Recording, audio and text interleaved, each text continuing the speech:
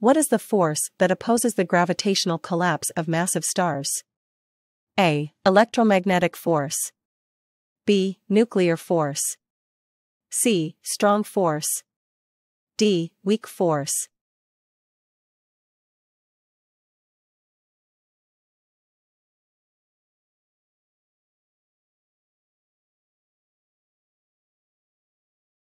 Correct answer is A. Electromagnetic force.